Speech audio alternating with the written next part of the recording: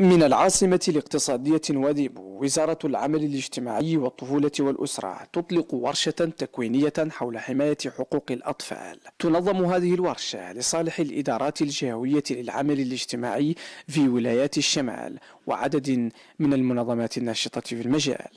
لقد وعت بلادنا أهمية حماية الأطفال فصادقت على أهم النصوص الدولية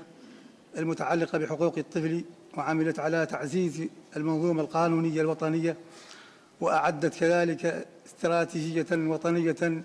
لحماية الأطفال كما عملت على خلق العديد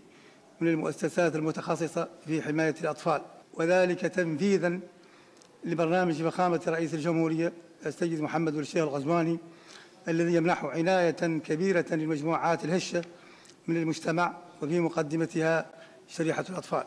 خلال انطلاقة هذه الورشة اطلع المشاركون فيها على مختلف القضايا والإشكالات المتعلقة بحماية الأطفال والأدوار التي ينبغي للمنظمات والأسر المتكفلة بالأطفال أن تؤديها في مجال تمكين هذه الفئة من كامل حقوقها وحمايتها وفق النظم والإجراءات المعهودة إننا في بلدية وادي نعطي اهتماما بالغا للأطفال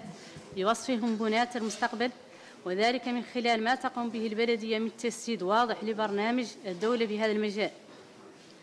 تجهيز حدائق الأطفال وبناء وترميم المدارس وذلك الاهتمام بالتعليم ما قبل التعليم الأساسي والصحة وخاصة صحة الأم والطفل من جانبها أعربت ممثلة منظمة الهجرة الدولية في نواديبو السيدة سينيس كالورا عن امتنانها بالجهود التي تقوم بها بلادنا في مجال حماية الأطفال وتمكينهم من حقوقهم من خلال موافقتها ومصادقتها على مختلف الاتفاقيات الدولية المتعلقة بهذا المجال. وخلال اليوم الأول من الورشة التي تدوم ثلاثة أيام تابع المشاركون عروضا مختلفة تمحور تمحورت أساسا حول القضايا المرتبطة بمبادئ حماية الأطفال والإجراءات والنظم القانونية الوطنية المعمول بها في مجال حقوق الأطفال. عبد الودود السدنة الموريتانية مدينة واديبو